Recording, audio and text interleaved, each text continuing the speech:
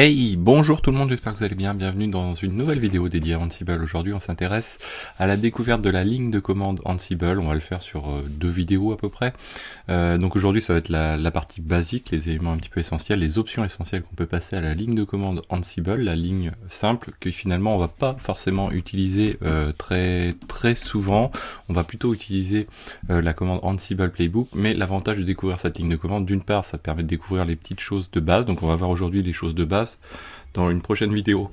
On va voir un petit peu les choses un petit peu plus avancées, les, choses qui, vont permettre euh, en gros d'utiliser Ansible sans euh, fichier descriptif quand on a vraiment une tâche particulière à faire collecter de l'information, faire euh, quelque chose à distance, simplifier la vie en utilisant SSH mais via Ansible, donc pour se faciliter la vie, bah, vous allez voir que ça va être très très pratique dans la prochaine vidéo. Donc là, dans cette vidéo, on va découvrir cette ligne de commande Ansible, donc qui est euh, peu utilisé finalement, plus utilisé, euh, quoi, ce qui est le plus utilisé c'est la commande Ansible-playbook qu'on va plutôt euh, utiliser couramment quoi après, par la suite.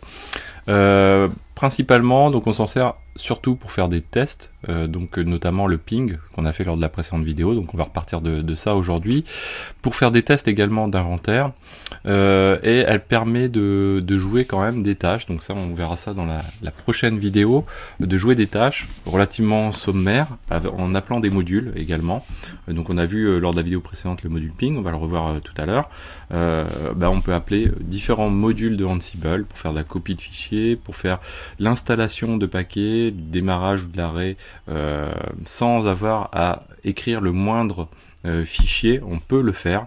Bien sûr, c'est pas recommandé. C'est pas de euh, quand on fait ça, on fait pas de l'infra code, on fait tout simplement du SSH à distance de serveur. Mais voilà, il faut savoir que ça peut se faire, ça peut être pratique pour se débloquer d'une situation à un moment donné.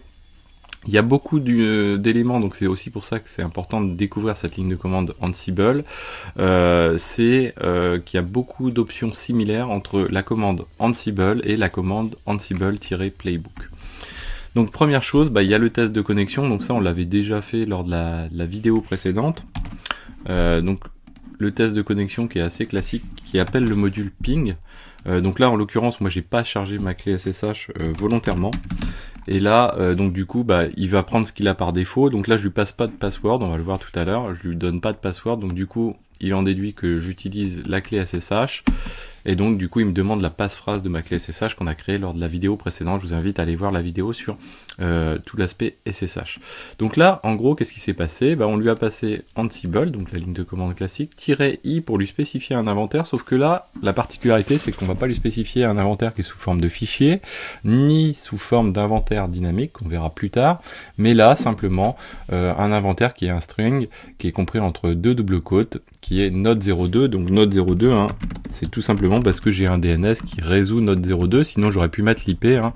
euh, ici, on peut très bien faire comme ceci, prendre l'IP qui est là, et lui passer cet élément là, voilà, donc on peut très bien lui passer les IP directement, le DNS étant plus propre. En plus, si on veut tester, potentiellement, voilà, si on avait différents nodes, on, on, peut ensuite faire appel à des patterns, etc. Ensuite, on lui passe all pour lui dire que voilà, on appelle le groupe All, je vous l'ai dit, c'est le groupe parent. Donc là, en gros, on a notre inventory qu'on va voir plus tard. Euh, plus en détail.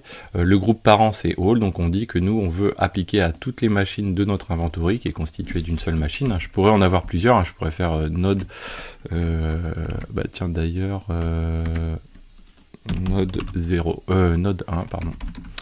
Hop, où est-ce que je suis? Je n'y vois rien. Voilà, node 1, virgule, comme ceci. Alors là, ma clé SSH, elle n'est pas installée en local, donc du coup, il va me dire, ah ok, euh, je peux pas faire, quoi. Euh, donc là, ce qu'on peut faire, c'est très bien rappeler, donc là, on a le "-k" qui permet d'appeler, de, de passer un password de connexion SSH. Donc là, je lui passe euh, Vagrant par exemple. Et là, du coup, il va se connecter à node 1. L'inconvénient, c'est qu'il va arriver sur le node 2 et là, il peut pas forcément s'y connecter euh, puisque bah, là, il essaye de, passer la clé SSH. Donc j'ai un mixte des deux qui est pas forcément terrible. Mais en gros, voilà, on peut passer plusieurs, euh, plusieurs machines de cette manière-ci. Là, si je lui fais comme ceci, ça va quand même passer, je pense.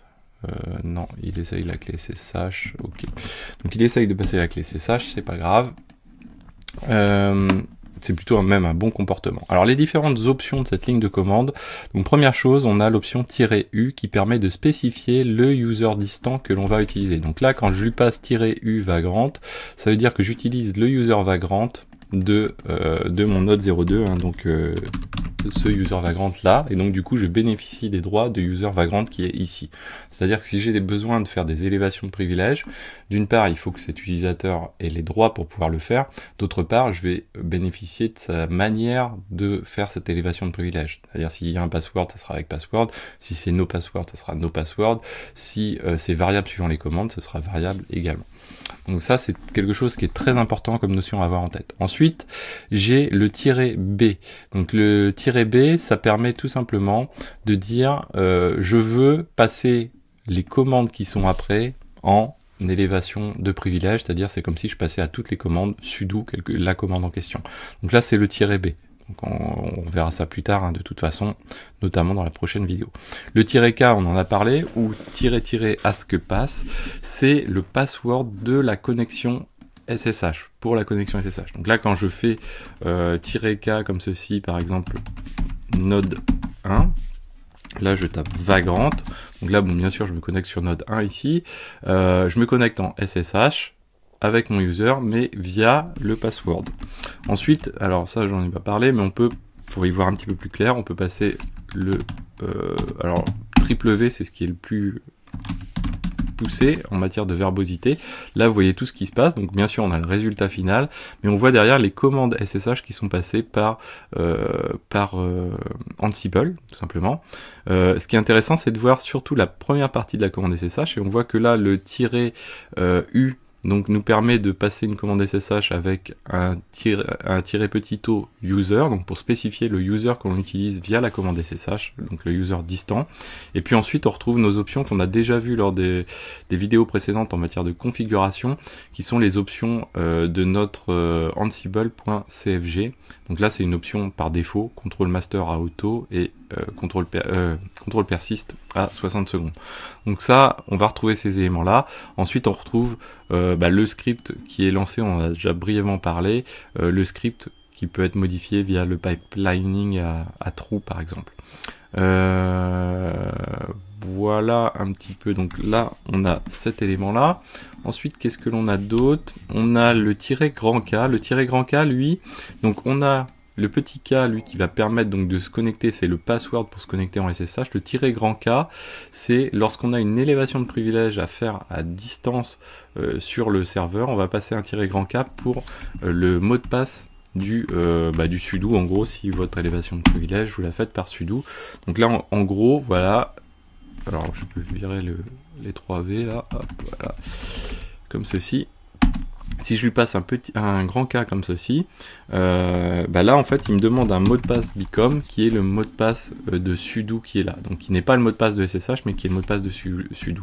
Si je lui passe un tiret petit k et tiret grand k, il me demande le mot de passe du password, euh, le mot de passe du, du SSH, pardon, comme on avait tout à l'heure. Et en même temps, vous voyez qu'il me demande du coup aussi le mot de passe de l'élévation de privilège. Et il me dit que par défaut, donc si je tape directement sur entrée, il va me passer euh, le mot de passe, le même mot de passe que celui que je viens de taper pour SSH, ce qui est assez logique finalement. Euh, ensuite, qu'est-ce que l'on a? On a là, alors quelque chose de très important quand on est dans une infrastructure, qu'on la connaît pas forcément, qu'on ne connaît pas trop les impacts, c'est le tiret grand C, tiret grand D. Donc là, on va repasser comme ça. Alors on va pas voir grand chose parce qu'on est en ping, mais tiret grand C, tiret grand D, ou tiret tiret check ou et diff, donc tout de suite les noms parlent mieux.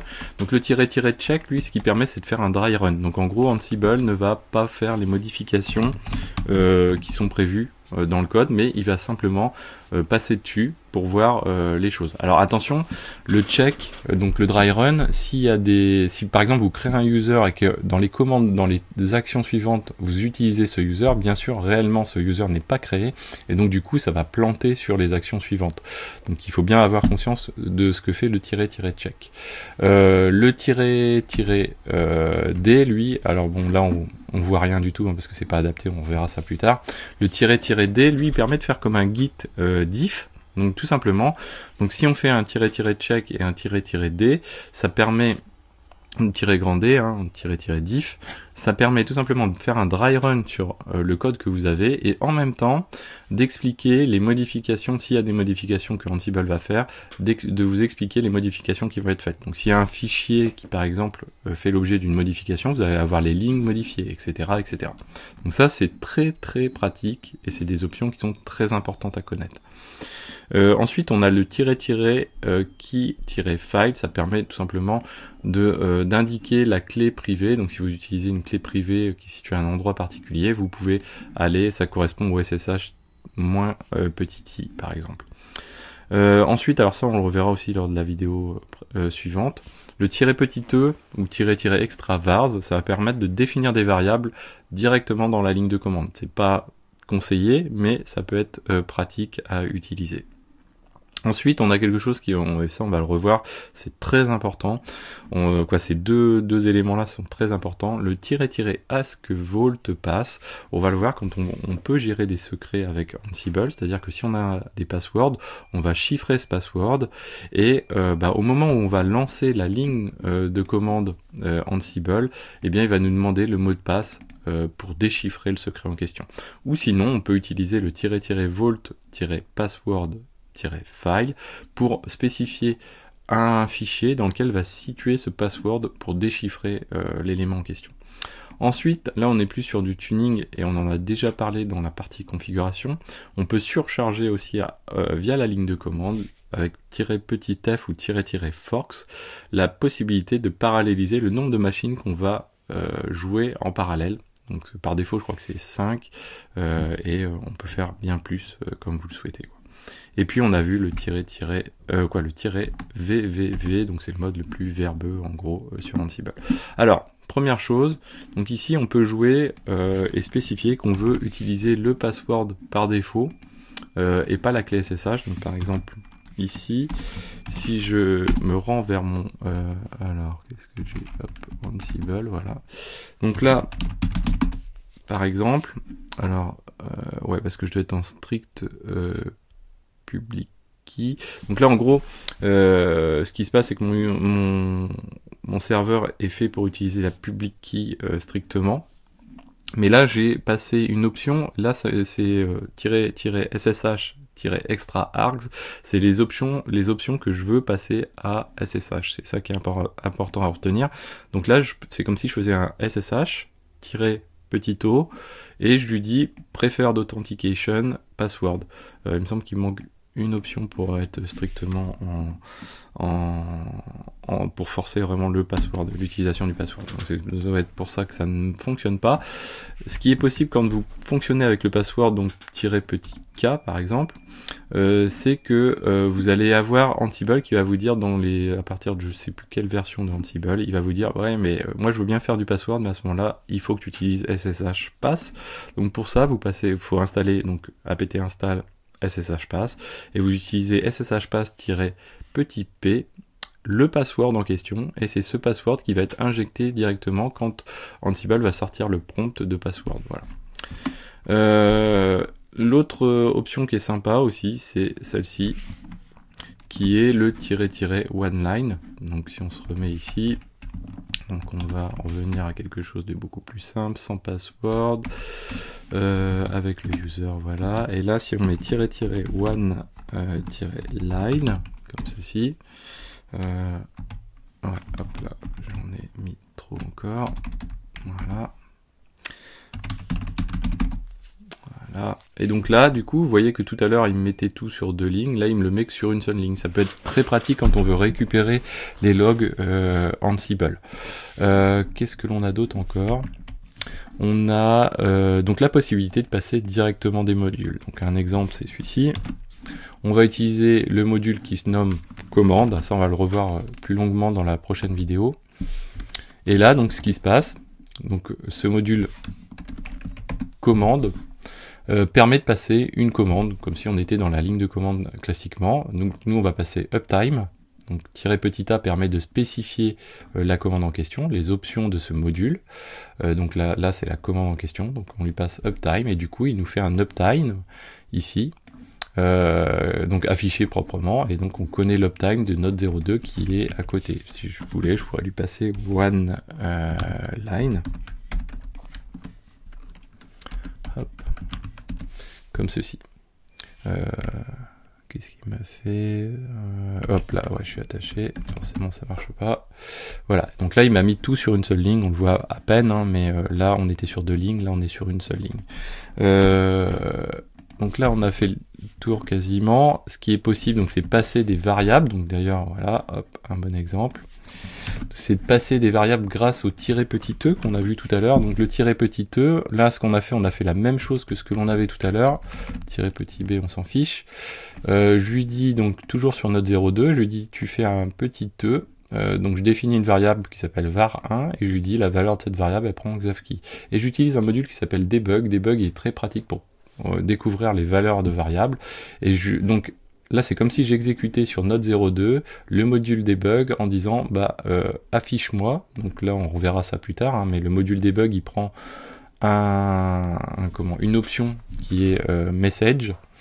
Et qui permet de dire tiens bah voilà affiche-moi le contenu d'une variable donnée par exemple var1 donc là, on va afficher, euh, donc on va se lancer sur Node 02, on va faire un debug sur Node 02 pour voir sur Node 02 la valeur de var1.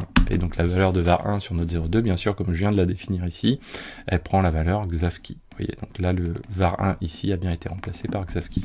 Donc voilà, donc ça c'est quelque chose d'important, on va le revoir dans la, la vidéo suivante. Euh, depuis tout à l'heure, vous apercevez que j'ai, euh, je tape toujours la passe-phrase de mon, de mon SSH euh, pourquoi de ma clé SSH Pourquoi? Parce que tout simplement, donc pour reboucler avec une vidéo qu'on a fait précédemment, si je fais un, SSH-add grand L, vous voyez que j'ai pas d'agent SSH. Donc là, comme c'est comme ça, hein, la méthode c'est eval SSH agent pour lancer un agent SSH. Donc là, j'ai bien un agent SSH. Donc si je fais un moins grand L, cette fois-ci, il me dit OK, tu as un agent, mais il a rien d'embarqué. Donc là, je peux faire un SSH moins euh, moins euh, add euh, qui permet tout simplement d'aller charger votre passphrase. Donc moi par défaut elle est située euh, vraiment à, à l'origine, donc il va aller récupérer dans .ssh ma clé par défaut, et donc là il vient de la charger. Donc en gros si je fais un moins grand L, j'ai bien ma clé SSH d'embarquer. Et pour faire la même chose que finalement j'ai fait euh, depuis, euh, depuis le début, même à la toute première qui devait être par là, voilà. Ici, donc là, vous voyez, il va pas me demander le password et il va me faire directement, bien sûr. Euh, donc il a pu charger la clé SSH, elle est déjà utilisable puisque ma passphrase est déjà utilisée et donc on a déjà le ping qui, quoi, le ping répond directement sans me quelque chose. Voilà, donc j'espère que cette vidéo vous a plu, n'hésitez pas à la partager, à mettre des pouces bleus, à commenter, moi je vous dis à très bientôt sur Xavki.